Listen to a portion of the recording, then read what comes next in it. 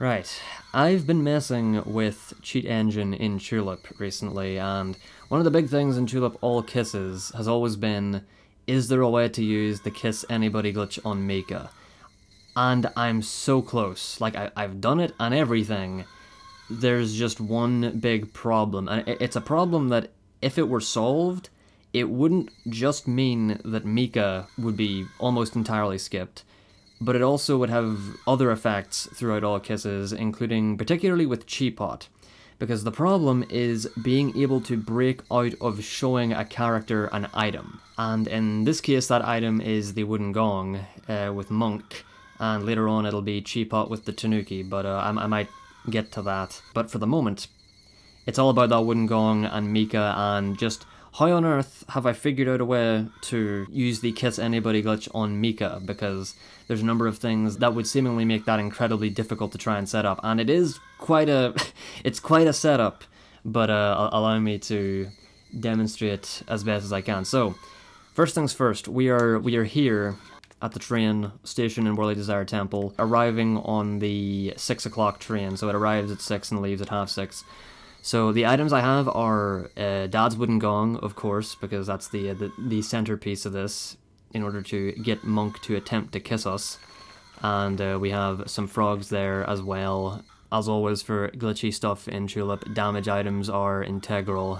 So from the start, then, what we would do is this. This is probably what the setup would be, assuming an alternative setup that starts off with Monk instead of Conductor came to be a thing. There's, if this ever became possible and a route was implemented, there's a you know there's a chance that things could be different. But this is the uh, the setup I've got right now. So, kiss buffer with Conductor, eat the frog. So pretty basic stuff as far as Chulip glitches go. And as we do in Chulip uh, any percent and in all kisses, we can go up here, get to the invisible stairs that are out of bounds, go up them a little bit, and then turn to jump up the rest of them or like flick up the rest of them. And now we're a layer above. Es essentially, walking on the ceiling of the map would be a, a, an easy way to get the point across. Now, we need to get inside the cave. And if I walk here, we have that little jump, and then we slip down, then hold up and left. And that'll put us in the cave. From here, we go up, around, like up, up and around to the left, and then use a thing there to fix the camera. A little uh, detect, detect thingy that's there, a little camera thingy, little camera changer. So you line up with Monk, you pop up here. Let's see, maybe like one, two, three, four, five, six, seven, eight, and then you hold up and left. That works, except maybe nine steps instead of eight. Either way, that seems to work. That might be a, a good setup for that. It's quite finicky, because if you're not very careful with how you move around there, the camera will go down to where Monk is and get stuck there, and that is a no-go. You need to have free camera. But anyway, yes, whenever you're in front of Monk, uh, before half eight because at half eight he stops banging the gong um, and starts to get up and go to bed or whatever. You got a kiss buffer with him.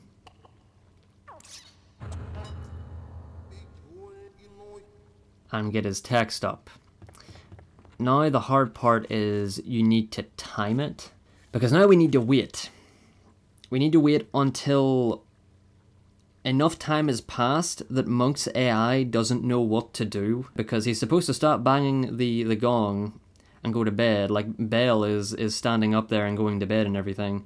But Monk will not stay in this position, frozen, unsure of what to do, um, until a quarter to twelve. So that's eleven forty five PM in the game. And that's not that's luckily not too far away. But the problem is we will probably need to figure out a way to, to time it. Now, of course, I have Cheat Engine up, as you can see on the top left. See, I can see the time value in frames, and uh, the value, I think it's like 43,000 and something is midnight. 43,200 or something like that. So I can just stay here, like let's say I'll pop up and then down, now I'm inside the cave.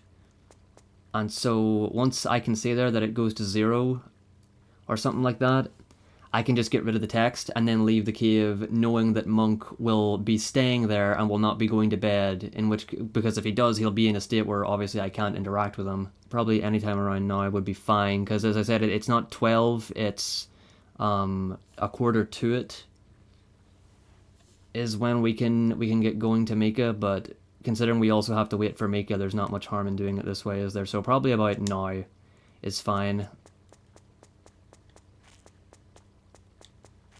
Yeah, that should be totally fine. And so we're still up here, and now I've exited the cave. Oh, however, Monk is still banging the gong. That should be fine. I'm, I think I'm used to him not banging it, but rather just being stood up. But uh, doing that is totally fine. So we gotta go down here to Mika now. Mika appears at 2 a.m. But even though normally when you're a layer above like this, things happening directly beneath you happen without a problem, for some reason Mika's spirit will not interact with you if you're a layer above. However, there is a way around that, and that's by forcing Mika's garden to spawn first. So around this area where I am here, um, sort of like the bottom left, like on, on like the bottom left graves of this square area here where Mika's garden is, we can like go up and down and whilst I'm not sure exactly what triggers it, um, there we go. Whenever that light change happens, bingo. Mika's garden spawns in, without Mika in it. But, for some reason, when we do this, we can interact with her spirit from up here. Which means that whenever it turns 2am, we can enter Mika's garden while remaining up here. And Monk is still playing his uh, his gong. I, I I did not get that before. Previously, he just stood there and did nothing, but he's going to keep playing his gong through the night. And what do you know? I'm right on top of Mika's spirit. Perfect. So, now that Mika has arrived, we can head back up to uh, to Monk. And this is where the this is the only part of the trick that can't be fully done without the cheat engine because we simply don't know what to do in regards to this. So I got to get back over to Monk. Oh yeah, and in this this save state I'm using, he is just standing up. But if he's using the gong, it should be totally fine. Um, it might just delay it a little bit because he has to like stand up, but it should be fine. As long as he's frozen there, it does not matter um, exactly what he's doing, playing the gong or otherwise. But yes, so line up with him and then pop up properly, which is that. One, two, three, four, five, six, let's uh, and then hold up and left. Bingo, that's perfect. This is where we need to show Monk Dad's wooden gong but break out, or rather have free movement after doing so. And showing someone an item and having free movement by, like, say, using the end of a damage sequence to regain control, for whatever reason, it's just, it's not quite possible to, to do this, or to do that. It is possible to kiss buffer and show an item instead of eating a damage item, which results in the item just floating in the air. Um, so, for example, just like that. Now, of course, the reason that Monk's Kiss was successful there was because uh, I hit the dev trigger, but that's a that's another thing entirely. But for now, the the point of interest is showing him the wooden gong, right? So you do that, and there's normally nothing you can do. However, with Cheat Engine, I'll show you what we could do if we were able to just break out of this, or rather if we just had free movement during this, right? So I'll put this value here to zero, which gives me free movement back. So let's say we find a way to do that, right? Then we could do this. Once he's in that state of accepting the wooden gong, it's still in our inventory, so we can just toss it. That way, it goes to the lost and found, and we can pick it up later to bring back to him to kiss him properly, because that's a big problem with the kiss anybody glitch there are people that you can perform it with, but you can't re-kiss them afterwards, meaning that it's impossible to get all the kisses, because say you used Badian's kiss trigger to kiss Dandy, it's like, well that's great, but you can't reactivate Badian's kiss trigger, so Badian can never be truly kissed. So therefore, there's nothing you can do with it. Uh, but because Monk's Kiss is always activated as many times as you want with the wooden gong, if you like, for example, duplicated it um, or something like that, uh, we can therefore use the trigger here to set up for this and just give it to him again later and actually get his kiss. Whereas we're going to use this trigger to activate Mika's kiss, obviously.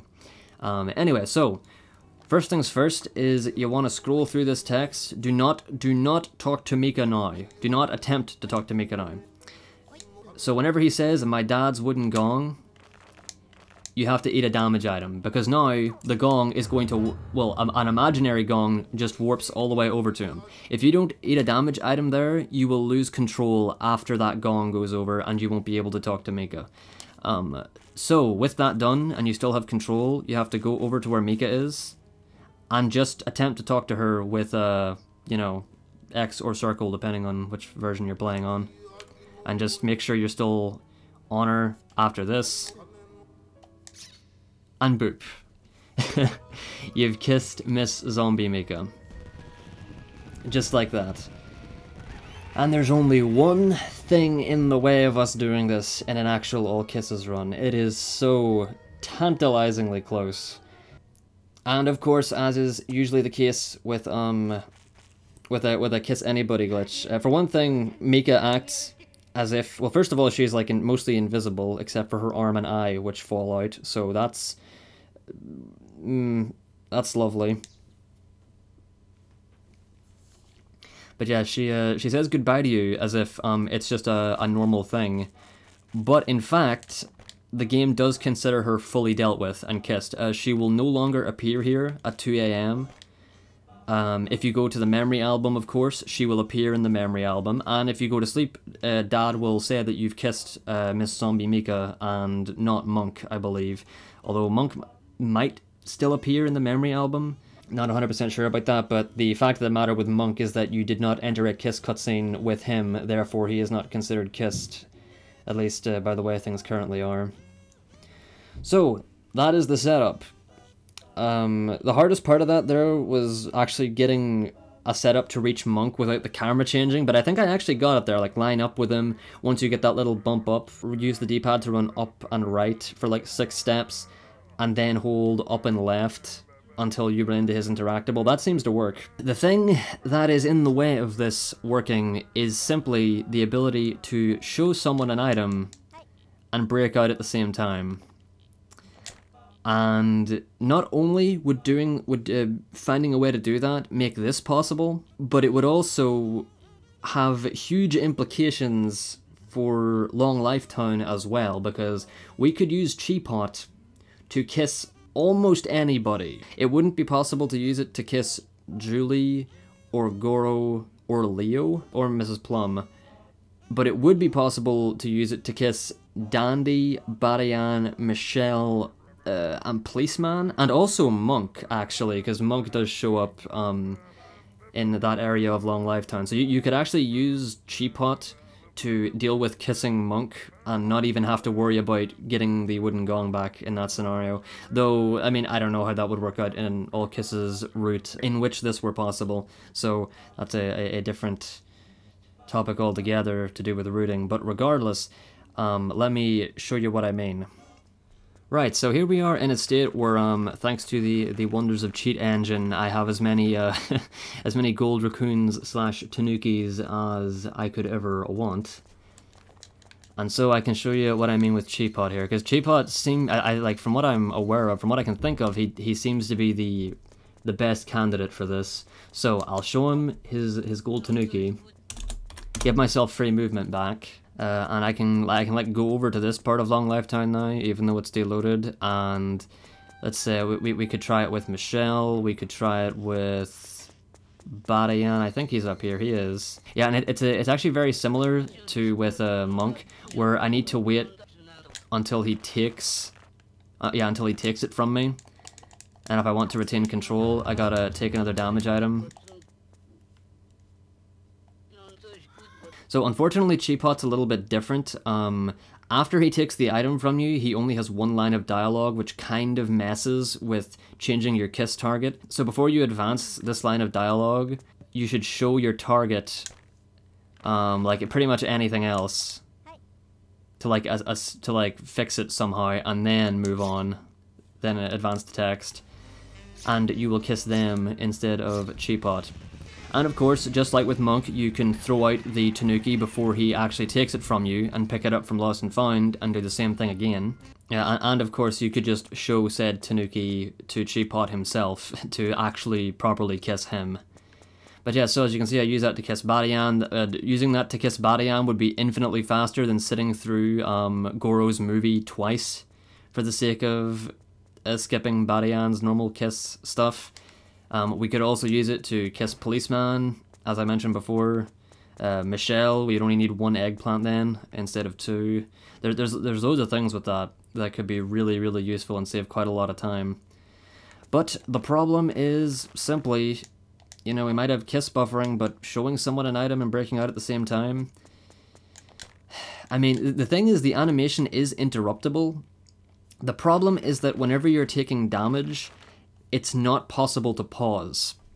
So if if if while we were taking damage we could pause, that would solve everything. So here's a, a state that I have here. I have Michelle's dialogue up. But like for for example, right, I can like set up for a kiss buffer here, and I can like mash pause. And until the damage is over, nothing happens. In that state, even though you're you technically could have free movement, you're like animation locked almost. And whenever you're in that sort of weird animation lock, even if the the value in memory in, in, in the uh, code here or whatever is set to zero, you still can't open the, bag, your menu. So it's it's really unfortunate, but I've tried a number of things. There's there is actually one kind of funky thing that I managed to do, and I'll see if I can show it here. Right, so let's see. Um, I'll set the value to be ready to go to zero. And I'll show Chiipot a frog and then set the value to zero in the middle of it. Right, so he's reacted to me showing him something, but it was a frog. But in spite of that, if I now try to show him the Tanuki,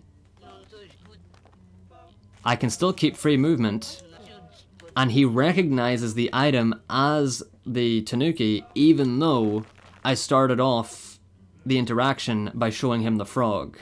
So I don't understand what's up with that. But of course, I still had to use the uh, the value and manually set the value to zero uh, using Cheat Engine in order to break out of the initial showing him the frog thing. So it's really unfortunate. Like it, it feels like it's so close, but I've tried and I've tried and I cannot think of anything. But the point of this video, the point of this uh, this whole thing is just for me to express how close we are to saving a lot of time in all kisses. If we could just figure something out with this, find out a way around it, we could skip Mika and save a whole lot of time because you know there's a lot there. Mika takes so long. Like you have to visit her like four or five times. You have to like get those herbs and drink the tea with Leo. There's so much stuff, and there's also the damage requirement. We might be able to skip sleeping an extra time or something to that effect because if it weren't for Mika, our health requirement wouldn't need to be that high at all. In fact, it would it could be pretty low because as far as I can remember, Mika is the only like real damage requirement. Um, oh wait, outside of the wooden gong, you do have to get the wooden gong uh, in all cases by uh, getting hit by uh, getting hit by lightning. Besides that, there's no there'd be no other damage requirements, which would be really really nice. I would also save us um, surplus visits to Worldly Desire Temple just for the sake of um, kissing Mika after drinking tea with Leo. And I think it can happen. I, I don't know if it's impossible. I feel like it is. But all it would take is just like one little oddity, one little extra thing, and it, it, it may happen. So I don't know. I'm going to keep looking into it, um, but I've already looked into it quite a bit. Otherwise, I wouldn't have went ahead and made the video whenever uh, I could have solved the problem beforehand. But uh, as always, two heads are always better than one, so if any of you have any uh, four-dimensional ideas for how this this might be worked out, uh, please let me know, because I'm I'm so desperate. I would I would love it so much if this were possible. But anyway, uh, that is all. So thanks for watching, everyone. I'll see you guys next time.